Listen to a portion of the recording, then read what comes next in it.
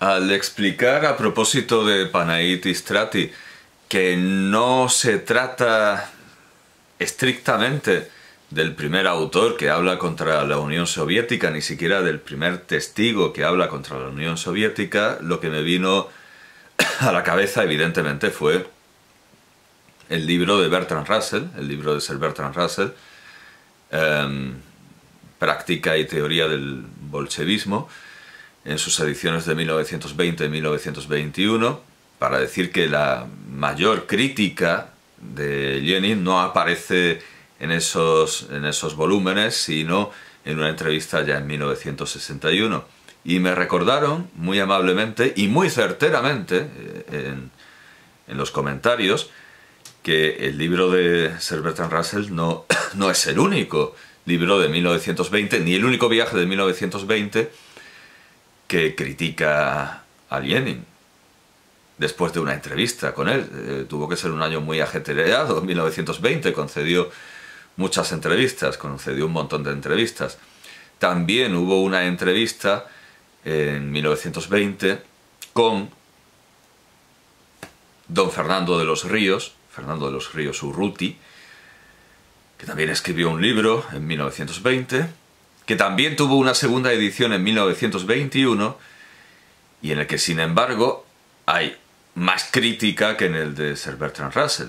Y esta es una muy buena ocasión y una muy buena excusa para homenajear a la obra, la extensa obra de don Fernando de los Ríos que por cierto no aparece... Naturalmente lo primero que hago es irme a Wikipedia, hay alguna fotografía, hay una fotografía de 1931, está su firma, eh, está, hay algún autógrafo, un retrato forense penal cuando fue eh, juzgado en 1925 durante la dictadura, está en la foto del gobierno provisional de, de 1931 que es de donde se ha sacado la fotografía anterior, donde está con Álvaro de Albornoz, Niceto Alcalá Zamora, Miguel Maura, Francisco Largo Caballero y Alejandro de Rux.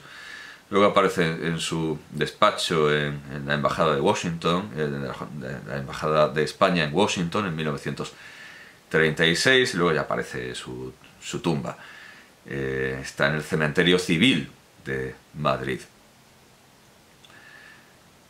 Aparte de este aparato iconográfico, hay una eh, bibliografía esencial, muy, muy abreviada, donde desde luego está mi viaje a la Rusia sovietista, que por cierto, en realidad eh, pone como fecha 1921, pero no, no hay problema, vamos a salir de dudas con un enlace que nos da Wikipedia y que es mejor que la biografía del Diccionario Biográfico Español de la Real Academia de la Historia, que, hace una semblanza... Bueno, la semblanza biográfica está bien, es, larga, está escrita por Octavio Ruiz Manjón, pero la semblanza eh, literaria es... Bueno, claro, lo deja todo a cargo, deja la enumeración a cargo de las obras completas en cinco volúmenes eh, por Antropos y la Fundación Caja de Madrid. Eh, bueno, en realidad se editó en Barcelona y en Madrid simultáneamente. En Barcelona por Rubí y en Madrid por Antropos. Pagaba la Fundación Caja de Madrid. 1997, cinco volúmenes en edición de Rodríguez de Lecea. Claro, por eso no da todas las obras que son extensísimas. Eh, cita solo una, una lista selecta, reducida, que encontramos ampliada en la entrada de Fernando de los Ríos sobre Fernando de los Ríos Urruti, 1879-1949, en el Diccionario de Catedráticos Españoles de Derecho, 1847-1984, eh, una obra que completa, desconocía absolutamente, es obra de Hernando Serra, y sí, esta obra existe, esta obra existe, eh, es una cosa de la Universidad Carlos III de Madrid. Diccionario de Catedráticos Españoles de Derecho, 1847-1984. Y nos da una bibliografía mm, bastante extensa. Principales obras. Dice así, algunas de las publicaciones de su extensísima obra son La filosofía política en Platón. La concepción social de Platón, la lectura 1907. No queda, bueno, vamos, sí, no queda claro si es un opus, no lo sé, porque viene en cursiva la filosofía política en Platón como si fuera un libro, pero luego la, concepción social de Platón como si fuera un artículo, la lectura 1907. Bueno, el fundamento científico en la pedagogía social en Natorp, memoria presentada a la Junta para la ampliación de estudios tras su estancia en Alemania, 1910. Él siempre aprovechaba los viajes para, para contar lo que, eh, lo que había visto, sea a Alemania o a la Unión Soviética. El problema de la continuidad en la política, la lectura 1911. Los orígenes del socialismo moderno, Madrid 1912. Entiendo... No, sí, traducción de la... Esto es otra obra. Traducción del alemán y estudio preliminar a la teoría general del Estado de Jelinek, Madrid, Suárez, 1913. Eh, y se nos añade, la Real Academia de Ciencias Morales y Políticas emitió un informe muy favorable sobre la traducción y estudio llevado a cabo por Fernando de los Ríos sobre la obra de Jelinek el 10 de febrero de 1921. Estudio preliminar a la traducción del italiano La Declaración de los Derechos del Hombre de Giorgio del Vecchio, Madrid y Reus, o la editorial se llama Reus, no lo sé, 1914. Alemania, la política interior, sus orientaciones, Bilbao 1915. Y nos aclaran que, nos aclaran que es un folleto. La filosofía del derecho en don Francisco Giner y su relación con el pensamiento contemporáneo, Madrid 1916. Bueno, informe favorable de la Academia de Ciencias Morales y Políticas. La crisis de la democracia, Granada 1917. Vida e institución. O sea, el mismo año que bueno, esto lo complica, pero ahora lo vamos a ver eh, con más facilidad. En 1920, cuando fue a la Unión Soviética, publicó Vida e instituciones de Andorra, una supervivencia señorial. Madrid, Centro de Estudios de Historia de la Junta para la Ampliación de Estudios, 1920. Informe favorable, otra vez, de la Real Academia de Ciencias Morales y Políticas. Mi viaje a la, Rusia, a la Rusia sovietista, y lo pone como de 1922. Eh, bueno, un poco de calma. Ahora vamos a ver. Eh, conveniencia de organizar guildas o cooperativas de edificación. Madrid 1923 es otro folleto. El problema agrario en España. Ginebra 1925. Por la libertad y la... De... Claro, porque en España no habría podido publicar por aquello de la dictadura. Por la libertad y la democracia. Madrid 1925. Folleto... Ah, bueno, sí publicó. El sentido humanista del socialismo. 1926. The Present Situation of Philosophy in Spain, Harvard, 1926. The, uh, the Religious Character of Spanish Colonial Law, Harvard, 1926. Religión y Estado en España en siglo XVI, Nueva York, 1900. Bueno, esto es bastante largo. Efectivamente, Religión y Estado en España en el siglo XVI, Nueva York, 1927. El universalismo jurídico en los teólogos y juristas españoles, 1927 Reflexiones sobre una posible reforma constitucional, 1927, Lo económico y lo ideal en la concepción socialista, 1929, En torno al concepto de la vida en Martí, La Habana, 1928, Estudio preliminar a la introducción a la, introducción a la ciencia del derecho de Radbruch, 1930, The Social Science in Spain and Portugal, en la Enciclopedia de Ciencias, vamos, en Encyclopedia of Social, Social Science de Seligman, Hacia el Estado corporativo, Leviatán, 1924. Es una pregunta. Hacia el Estado corporativo, Leviatán, 1934. Traducción y palabras preliminares al contrato social de Rousseau, Madrid, Calpe, 1934. La Comunidad Internacional y la Sociedad de Naciones, Madrid, 1935. The Action of, Spain in America concerning, uh, concerning of in America, 1940.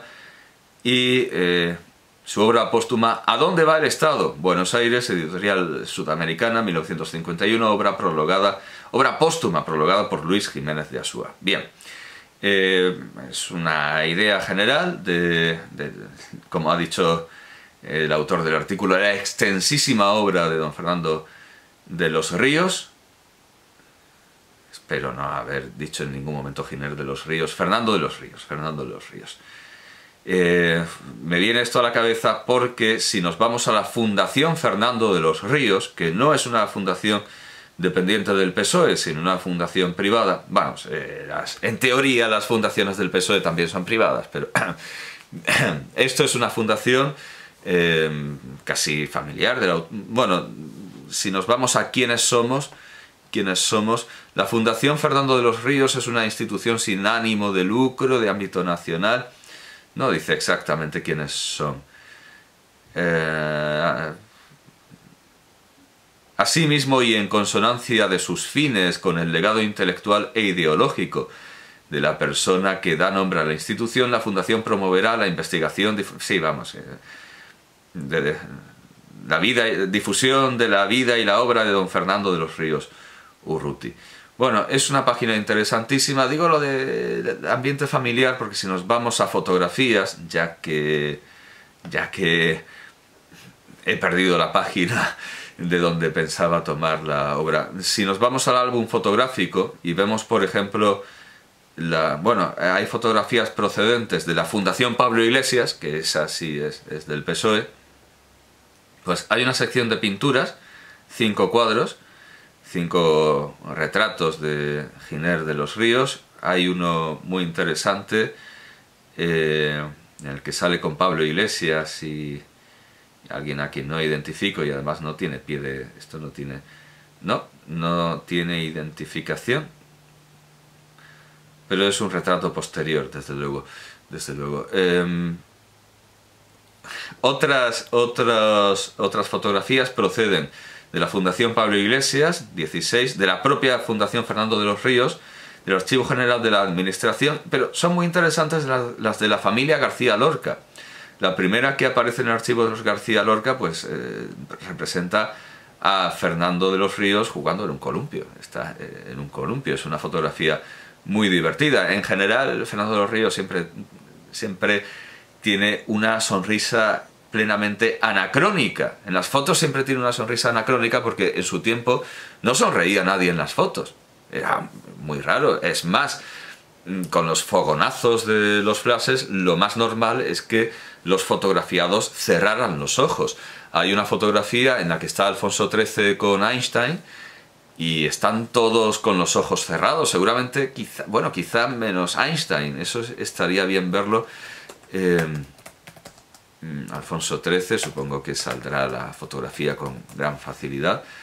Eh, claro, es casi simbólico, ¿verdad? Que sea el único que, tiene los ojos abiertos, pero tengo que volver a, ver la fotografía antes de hacer una interpretación mm, mística. Bueno, se ve que ahora falla internet. Me, ha estado fallando todo, todo el día, si no una cosa a otra, o si no me han llamado a la puerta.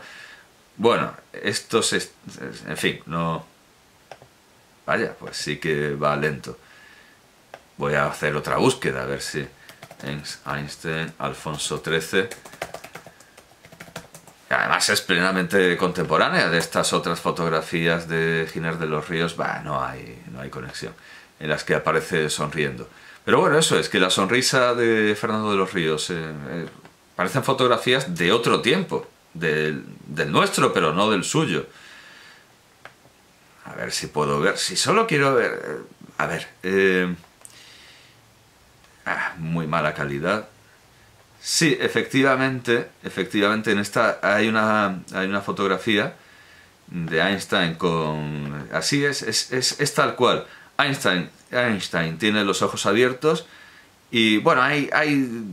Vale, hay dos personas que sí, y además uno mira desafiante a la cámara, pero en las figuras centrales todos están con los ojos cerrados. Eh, Einstein, Einstein tiene los ojos abiertos, pero no parece muy, muy divertido. Y en contraposición con, este tipo de fotografías, las de Fernando de los Ríos, desde luego, son, son rarísimas. Ya lo digo, parecen fuera de su tiempo. Bien, esto en cuanto al, álbum fotográfico. Eh, luego tiene una sección de discursos y conferencias discurso en la Universidad de Granada, discurso para el archivo de la palabra, es decir, la voz de Fernando de los Ríos, y tiene una sección de libros digitalizados. Y estos libros, y por eso lo de Giner, eh, estos libros son El pensamiento vivo de Francisco Giner de los Ríos, que es una antología eh, de Giner de los Ríos por Fernando de los Ríos. El sentido humanista del socialismo, vida e instituciones del pueblo de Andorra, que vaya selección extraña desde luego, y mi viaje a la Rusia sovietista, 1934, la edición de 1934. Y ahora vamos a ver eh, qué pasa aquí con las fechas, porque el diccionario de la Carlos III da 1922, eh, creo que esto estará aclarado, aquí está.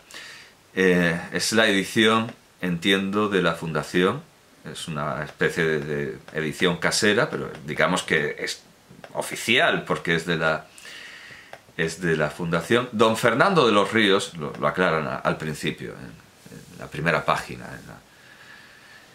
Don Fernando de los Ríos Urruti, 1879-1949, catedrático, político y escritor, realizó en 1920 un viaje a Rusia, cuya descripción plasmó en este libro, publicado en 1921 y dedicado por su autor en dicha fecha. O sea, no es de 1922, se publicó en 1921, pero tiene una segunda edición. En lo que me he equivocado es eh, al decir que la primera edición es de 1920 y la segunda de 1921 como el libro de, Bertrand Russell. No, la primera edición es de 1921, no de 1922 como dice el diccionario de la eh, Carlos III y su segunda edición eh, bueno el prólogo es de 1921, tengo aquí el prólogo de, la, de 1921 y el prólogo de la segunda edición está fechado...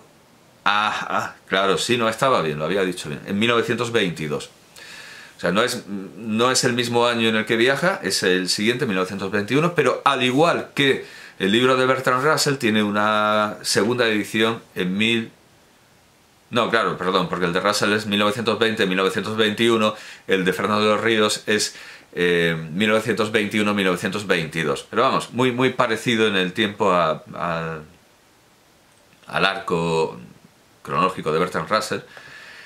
Eh, pero no espera a 1961 para hacer una revisión a fondo, porque hay un añadido esto es, un prólogo a la tercera edición, la tercera edición que es la de 1934 y la Fundación General de los Ríos nos está ofreciendo la, eh, la tercera edición con los prólogos anteriores. Y en este prólogo, pues eh, Fernando de los Ríos, Fernando de los Ríos acaba de poner a caldo a la Unión Soviética. Como por otro lado, pues acabaría haciendo también, hemos visto ahí un artículo publicado en Leviatán, pues eh, también también em, Quevedo, eh, Quevedo, Quevedo el socialista. Madre mía, eh, no voy a salir de este lapsus con, con facilidad. Eh, Luis Araquistain, sí, Quevedo, claro, es menudo. Luis Araquistain Quevedo, Luis Araquistain Quevedo. Bueno, pues también acabó siendo profundamente antisoviético a pesar de estar en el equipo del Lenin español, del Lenin español que era Largo Caballero. Bueno, pues vamos a, eh, vamos a aquella famosa, eh, famosa parte tan citada, tan, bueno, tan citada y tan, y tan evitada. Voy a buscarlo. Sí, ya. Voy a leer el pasaje entero. Tan citada y tan, tan evitada, digo, porque eh, Ricardo de la Cierva, en su Historia del Socialismo en España, 1879-1983, eh, trata el tema eh, diciendo que hay quien lo ha eludido. Está en el capítulo séptimo, Dos emisarios españoles ante Lenin, página 61 uno es Ángel Pestaña, aunque claro, eh, Fernando de los Ríos no viajó solo, su compañero tuvo una visión más positiva, pero él hizo una de las pocas críticas anteriores a Istrati desde sectores de la izquierda. Dos emisores españoles ante, la Filípica de Ángel Pestaña y aquí está Fernando de los Ríos. Fernando de los Ríos no responde. Fernando de los Ríos ha contado de forma inolvidable su conversación con Lenin. Los historiadores socialistas, tanto los socialdemócratas, Virgilio Zapatero, como los marxistas radicales, Gómez Llorente, tratan de quitar importancia a esta conversación histórica. Zapatero ni la reproduce y Gómez Llorente la llama manida, es decir, ya la conoce todo el mundo, ¿para qué la vamos a, a citar o estudiar? Nada menos, pero según el testimonio del profesor de Granada se desarrolló así. Bueno, no voy a leer la cita, no voy a leer... Bueno, sí, venga, la voy a... Eh, la voy a leer, pero bueno, voy a leer... Voy a leer eh, en el original aquello que omite, o sea, el principio que... Vaya, pues no la cita no, no la cita como... Bueno, voy a... Sí, venga, voy a, voy a leer lo que, lo que cita Ricardo de la Cierva. ¿Cómo y cuándo cree usted, interrogamos, que podrá pasarse del actual periodo de transición a un régimen de plena libertad para sindicatos, prensa e individuos? Nosotros, respondió Lenin, es que estoy viendo que esto no coincide con, con el texto. Madre mía. Eh, o quizá bueno, un segundo. O quizá es que lo toma... No, pues no coincide. Ah, sí, sí, aquí está. Vaya, pues se salta un montón. O sea, voy a, voy a comparar la cita en... Bueno, él dice que Virgilio Zapatero ni la menciona, eh, Gómez Llorente tampoco. Eh, es algo tan teóricamente, tan, tan mentidamente manido, tan citado, y tampoco leído en su fuente que conviene, conviene incluso ir comparando lo que, lo que dicen los libros y lo que dice el libro, lo que dice eh, la versión original. Voy a ir comparándolo. ¿Cómo y cuándo cree usted, interrogamos, que podría pasarse del actual periodo de transición a un régimen de plena libertad para sindicatos, prensa e individuos? Nosotros, respondió Lenin, nunca hemos hablado de libertad, sino de dictadura del proletariado. La ejercemos desde el poder, en pro del proletariado y como en Rusia la clase obrera propiamente dicha, esto es, la clase obrera industrial, es una minoría, la dictadura es ejercida por esa minoría y durará mientras no se sometan los demás elementos sociales a las condiciones económicas que el comunismo impone ya que para nosotros es un delito así el explotar a otro hombre como el guardarse la harina que ha menester alguien. Bien, y entonces eh, dice, dice Ricardo de la Cierva, tras explicar las graves dificultades en que se debate la nueva administración soviética, continúa Lenin, continúa, no vamos a saltarnos esto, Vamos a dar por fin la cita entera y completa, no nos lo vamos a saltar. Eh, la, harina que ha, que, ha menester, que ha menester alguien. La psicología de los aldeanos es refractaria a nuestro sistema. Su mentalidad es de pequeños burgueses y por eso no los contamos como elementos proletarios. Entre ellos han hallado los líderes de la contrarrevolución, de Nikin, Kolchak, Wrangler, etc., sus adeptos. Más, entiendo que es más eh, conjunción, no más adverbio como viene aquí, más los aldeanos han llegado a una conclusión, a saber, que si los bolcheviques son malos, los demás son insoportables. Nosotros a los aldeanos les decimos que o se someten o juzgaremos que nos declaran la guerra civil, que son nuestros enemigos, y en tal caso responderemos con la guerra civil. Lentamente la psicología de estos va cambiando y los va acercando al gobierno. La dificultad para nosotros estriba en la cercanía de productos industriales con que recompensar lo que les requisamos.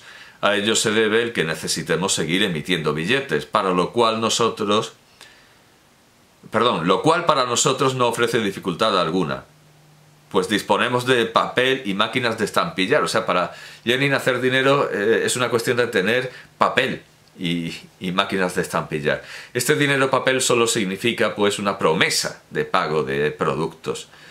Y ahora sigue, eh, y ahora sigue eh, el, pasaje citado por Ricardo de la Cierva. Y lo sigo leyendo en el original. El periodo de transición de dictadura, continuó diciendo Lenin, será entre nosotros muy largo, tal vez 40 o 50 años. Otros pueblos como Alemania e Inglaterra podrán, a causa de su mayor industrialización, hacer más breve este periodo.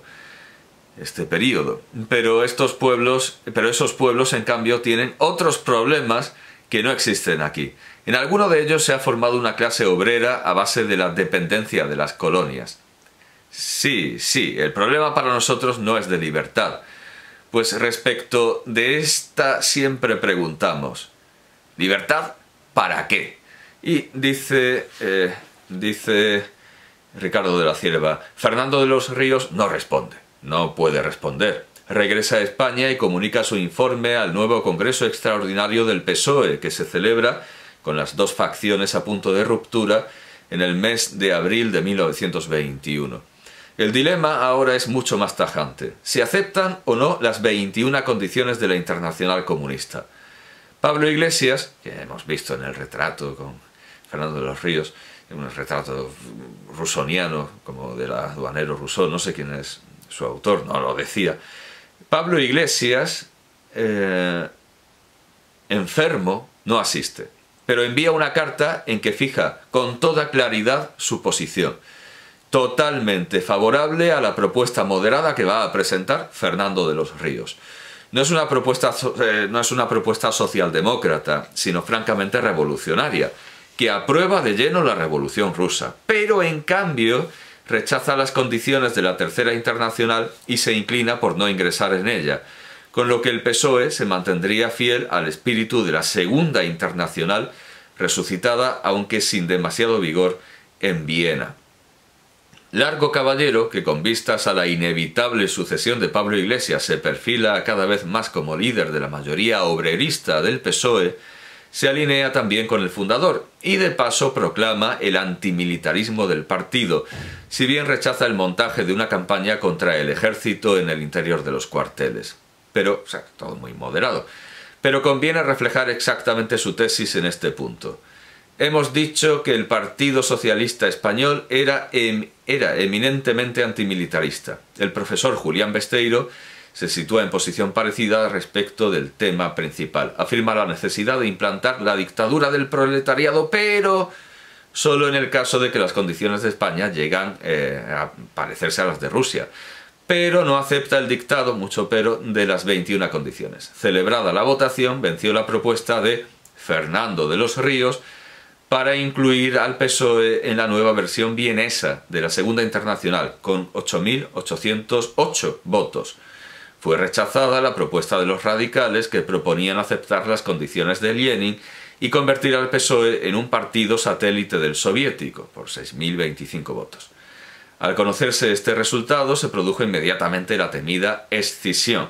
El, ex capitán Óscar Pérez Solís, líder de los terceristas, lee un documento que firmaron también otros socialistas históricos, como Pérez Agua, Acevedo, Virginia González, Torralba, etc. La nueva ejecutiva presidida por Iglesias con Besteiro como vicepresidente, Saborit como tesorero y Largo Caballero, Indalecio Prieto, Fernando de los Ríos y Lucio Martínez, entre otros como vocales, comunicó inmediatamente un manifiesto en que se decía, entre otras cosas, nosotros no estamos conformes con las condiciones que impone la Tercera Internacional de Moscú, pero, pero, Afirmamos hoy, como lo hicimos desde el primer día de la Revolución rusa, que estamos, sí, identificados plenamente con aquella revolución. Con ella principia la era del desmoronamiento capitalista y de las realizaciones socialistas. En los locales de la Escuela Nueva, eh, hasta aquí la cita del manifiesto, en los locales de la Escuela Nueva, vivero de intelectuales socialistas hasta poco antes, se reunían poco después los socialistas escindidos y daban luz, perdón, daban a luz, no quería imaginarme los despatarrados y pariendo, daban a luz el segundo y definitivo Partido Comunista, que se llamó de momento Partido Comunista Obrero Español, y abrevió después su nombre al actual Partido Comunista de España, bajo la supervisión del emisario de la Comintern, el diputado italiano Grazia Dei. Los dos partidos comunistas se fundían a requerimiento de la Internacional Comunista en noviembre